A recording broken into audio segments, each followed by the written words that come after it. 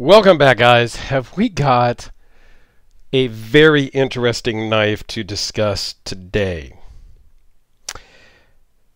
I don't even know really where to begin with this thing other than to zoom in and really just show you. Like, yeah, we'll talk about the specs for the most part, but really it's just an interesting way to build a knife. Now, this is the Quartermaster uh, knives, the QTR 11TT. It is in the General Lee series, and it was designed by Gavin and Grant Hawk as a collaboration.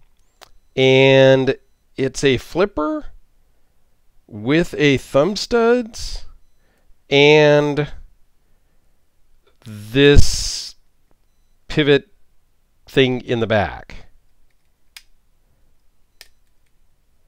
So it's unlike anything else, really. It's almost like the suspension of a car. It's just crazy. Okay? So let's zoom back out. You can flip it, okay?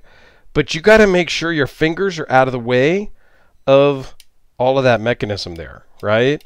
Because when it closes, or when it locks open, see if I can do this upside down. This ought to be funny. You got to keep your fingers out of this area right here. Okay? And it's kind of not locked locked right now because there is a little gap there. So you just kind of push it down and it locks in. And now it is completely solid. Like there's no blade play in any direction. Even the way the bearings are, it's ceramic bearings, and the pivot system makes it so that there's no blade play when it's closed. There's no blade play when it's oh, like at any point of the rotation of the blade, is there any blade play? And it locks up so solid. I, I don't know that you could physically like I'm I'm sure you can physically put it in a vise and put a hundred thousand pounds of weight on it. Like I mean, yeah, sure, okay, come on. But realistically, I don't know that you could make this fail just because of the geometry of this mechanism here. It's very crazy cool. The same way you can flip it open if your fingers are out of the way, you can thumb it open also but I never seem to get my fingers out of the way, so I'm not going to really demonstrate that. Okay? I, I was lucky when I did it upside down. And, you know, if I play with it for a little bit, 10 or 15 more minutes, I, I'm, I can get it so that it's perfect. If you want something fidgety, wow. Is that not cool? I like legit could be doing that all day. Okay, maybe not all day. My fingers would get tired. I would need to eat. I would need to drink. You know, right? But yeah, this could easily be my office fidgeter over the knives that I have on my office desk. This would be great for conference calls and things like that. Now, this was loaned in by Clint, uh, Cliff, Clint, Cliff up in Alaska.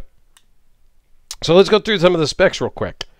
It's 4 and 7 eighths closed with an extended clip, they call it. So it's a like super deep carry clip because it extends up above the frame of the knife.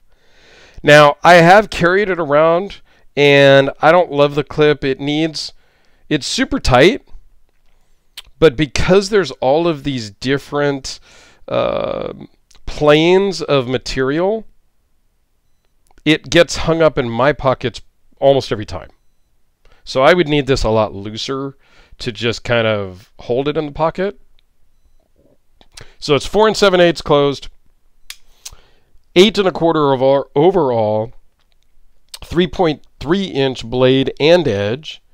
Uh, it is S35VN.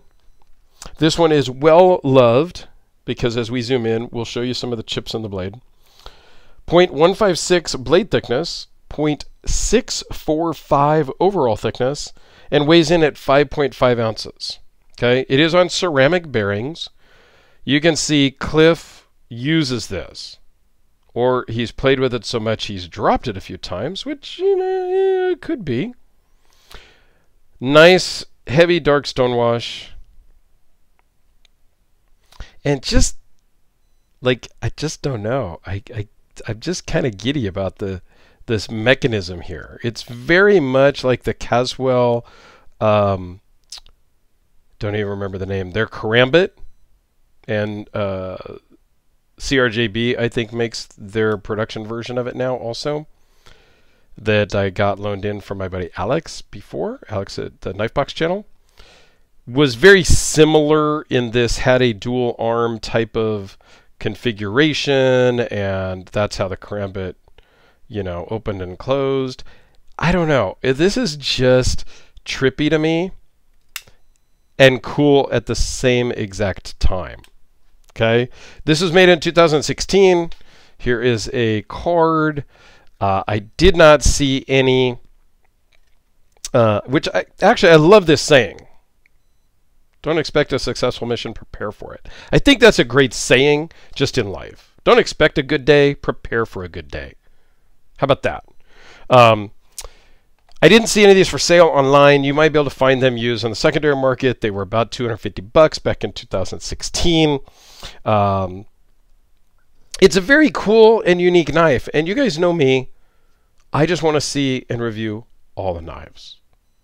Okay, that's just what I like. I like to see the weird, unusual, unique things that you can't even get anymore.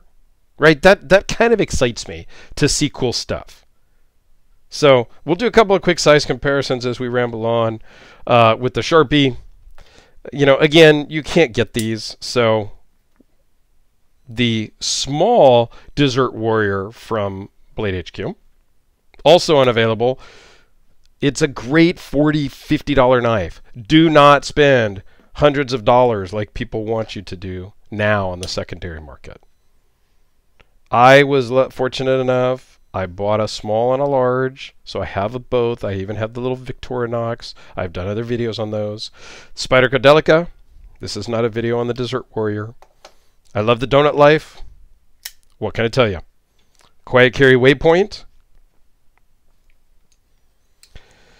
And because I just, you know, because it's a Hellraiser.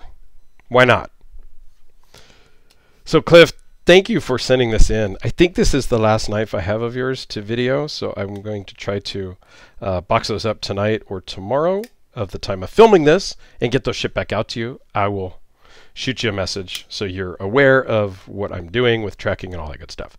But very cool knife. It locks into your hand. It's got all this jimping up here and back here, a little bit down here even. It just, it's just freaking cool and it's unique. And I'm sure if I spent more time really learning how to flip it open and thumb stud it open and all of that, I'm sure you could get it down. I could tweak the clip, make sure that it works perfect in my pocket and all that good stuff. So, a very cool knife if you're into the weird, unusual stuff. I would look for these on the secondary market. They actually had some other models with different uh, shaped blades.